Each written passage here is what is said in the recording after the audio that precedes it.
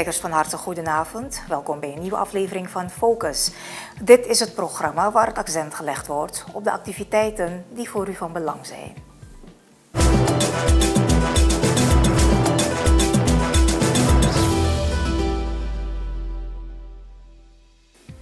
Vandaag in Focus registratie cruciaal om public sector reform programma uit te voeren.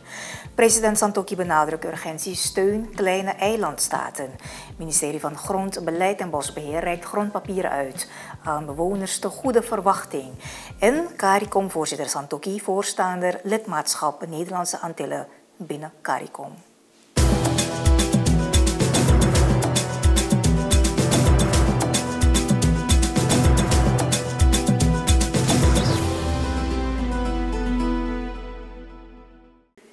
Een van de maatregelen die voortvloeien uit het herstelplan is het verminderen van het bestand van de landsinaren. Deze vermindering moet de komende jaren resulteren in een sterke afname van de loonkosten voor de staat. Om het beoogde doel te realiseren is het cruciaal om het Public Sector Reform programma uit te voeren. De verplichte landsdienaarregistratie is een belangrijk aspect van dit programma.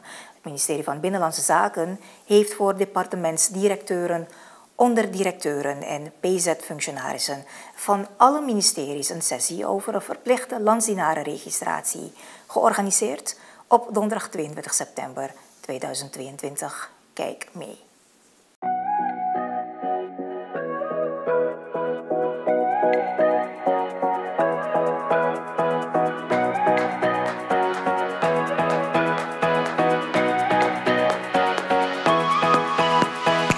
Om dit programma uit te voeren worden dus drie stimuluspakketten aangeboden. En bij het ontwikkelen van die stimuluspakketten zijn we uitgegaan van vier algemene uitgangspunten. De eerste is dat het dus vrijwillig geschiet. Ja, dus het is geen sprake van een verplichte sanering, het zal op vrijwillige basis zijn. Het tweede is dat de regering zich het recht voorbehoudt om een verzoek dat door een landsignaal wordt ingediend om vervroegd uit te treden, kan afwijzen.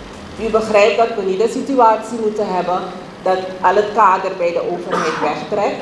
En ook dat we niet, geen negatieve effecten moeten hebben in de sectoren waar er al een tekort is aan landsienaren. Als we bijvoorbeeld denken aan de zorgsector en het onderwijs. Ja, er zijn collega's die hier vanmorgen kwamen en aangaven van ja, zijn er ook pakketten van mij?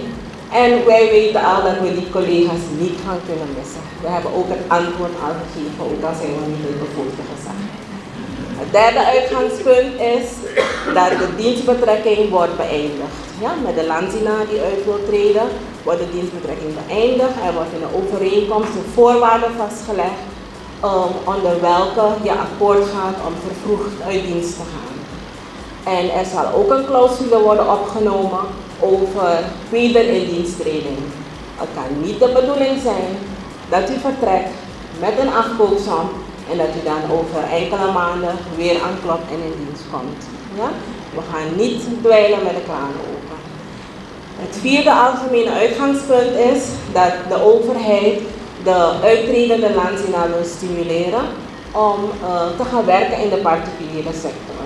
Als zelfstandige of als um, werknemer.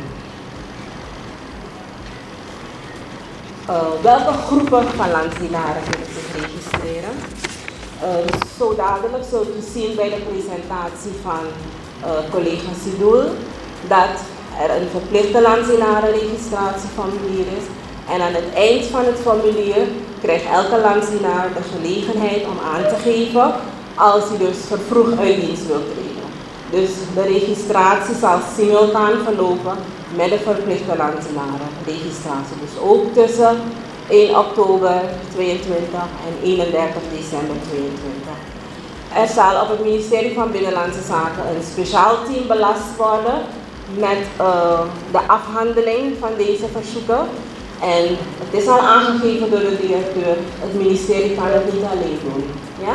Dus dat team zal werken zou nauw samenwerken met onze afdeling CPA, want daar zit de centrale administratie, maar ook met de afdeling personeelszaken op de verschillende ministeries, omdat u ook over een heleboel informatie beschikt. Ja, het is, u in dat verband ook door de minister van Binnenlandse Zaken gevraagd om twee focal points aan te wijzen. Het is belangrijk dat deze verzoeken met voorkeur worden afgehandeld.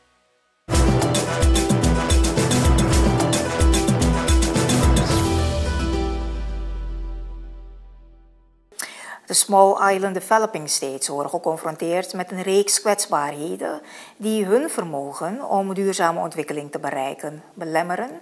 Structurele factoren waaronder hun omvang, afgelegen ligging en blootstelling aan klimaatrisico's en natuurrampen beïnvloeden de sociaal-economische situatie en hun vermogen om de duurzame ontwikkelingsdoelen te bereiken. En zo luidt een deel van de toespraak van president Chandrika Persat Santokhi tijdens het Alliance of Small Island States Breakfast Event in de Verenigde Staten van Amerika.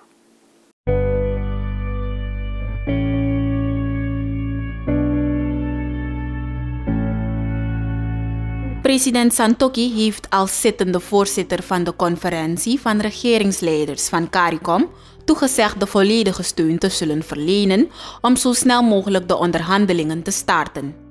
Dit in samenwerking met het CARICOM-secretariaat. Het staatshoofd stelt dat de samenwerking van groot belang is om gehoord te worden op internationale podia.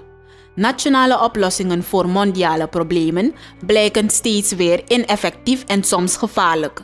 Door globale oplossingen met aangepaste lokale of nationale implementatie moeten wij de toekomst bereiken die wij willen. Samen staan we sterker, aldus de Surinaamse president. Bij de identificatie van aspecten voor samenwerking is de nadruk gelegd op de functionele samenwerking op het gebied van veiligheid, rechtvaardigheid, drugsbestrijding, toerisme en capaciteitsopbouw. Verder is gesproken over de verbeterde lucht, en zeeverbindingen die nodig zijn om handelsbetrekkingen te vergemakkelijken en uit te breiden.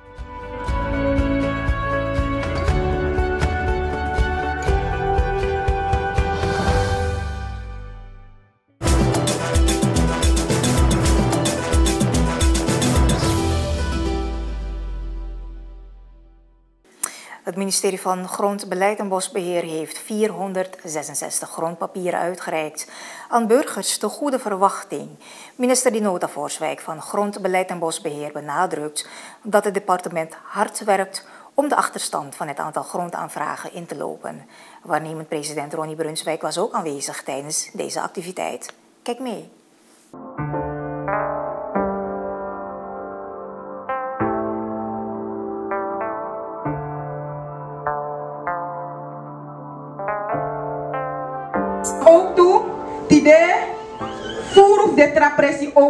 Luku en taki van huh, einde voor de verwachting aan de beurt. Dus mi want tegi de tak Sunny Point, Texas, Rahimal, Smalkalden, South Sabile Jamaica, uno vergit uno. Maar beetjes bij beetjes weet ik Na goede verwachting moet staan, maar we ook naar de trapressie. Maar wat staan ook toe, mi want druk uit tapu ati ook toe. Om niet omdat ons shitak u los een probleem of een goede verwachting, dat tras ma ogo kraak. If je go kraak no, a wet de so tak yo sroto you. Des ma sa libi ome jari bat op depressie, na dat da a probleem wo los op. En om de een motivatie dat oké, okay, het is opgelost, dus nu mag ik gaan kraken. If je go occuperen wat pressie no, yo osroto.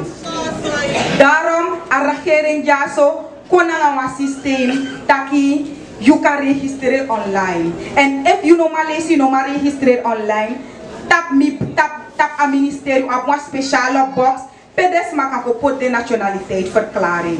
En ook toen naar VP, ook toen naar het kabinet, ik kan leveren je nationaliteitsverklaring. Dus une moedig no mas ma aan voor kraak. If je kraak, je osroto. Mino wan meken tum silanga omdat dat pressie waren. Maar mi alvast wan feliciteer alle de 466 burgers dat die eindelijk je kies je rechtszekerheid. Als ze regering be beloof werkelijk ako na. Maar ook toe mi wan tak ook toe grand tangi na a team voor het ministerie voor GBB. Sa zorgen dat alle de stukken ja zo meki en tide hoe we mag voor tjade coöperatieve desma. Grand tangi. Maar inderdaad, je ziet dat midjanya regering, lek vice-president, midjanya regering, lek taki, wabi taki man fu gontoli. En zo taki man fu gontoli, dena apartheid abapana en op een losse probleem voor deze man voor wie op, dan dan ben je vibo. Maar je bent vibo, dat die akkom toli voor de na goede voor de wapen en zo, hoe je bezig en lossen op. En idee, de eerste stap zou poti voor los aan probleem.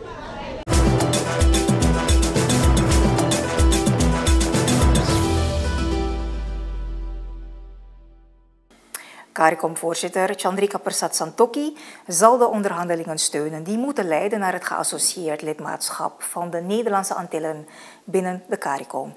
Het Surinaamse staatshoofd deelde dit op 22 september mee tijdens een bilaterale ontmoeting met de premiers van Aruba, Curaçao en Sint Maarten. Tijdens de laatste tussentijdse vergadering van regeringsleiders gehouden in januari 2022 in Belize heeft de conferentie besloten om het onderhandelingsproces over aanvragen voor geassocieerd lidmaatschap voor de Nederlandse Antillen voort te zetten.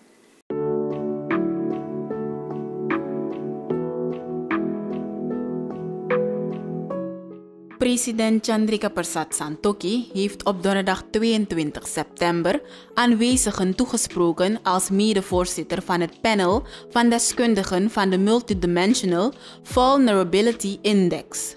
Het Surinaamse staatshoofd noemt de kwestie van ongekende uitdagingen waarmee de kleine eilandstaten worden geconfronteerd niet alleen cruciaal, maar ook urgent.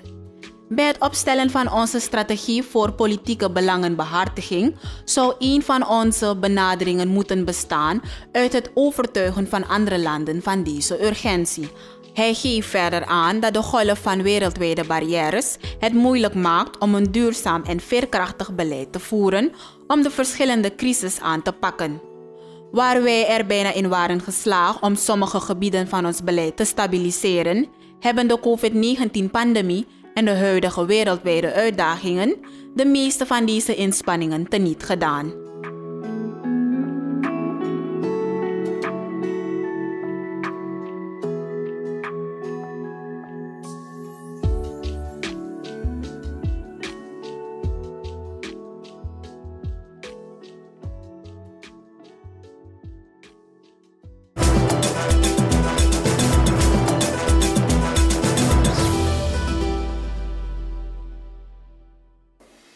En dit was Focus. Bedankt voor uw aandacht.